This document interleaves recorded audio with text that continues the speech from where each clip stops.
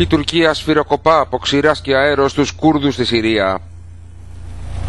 Στην επαρχία Αφρίν, οι κουρδικές δυνάμεις ανταπέδωσαν τα πυρά του πυροβολικού στα βόρεια και τα δυτικά της επαρχίας Αφρίν και υποστηρίζουν πως αντιμετωπίζουν την επίθεση με επιτυχία. Στόχος της Τουρκίας η δημιουργία μιας ασφαλούς ζώνης 30 χιλιόμετρων στο Συριακό έδαφος.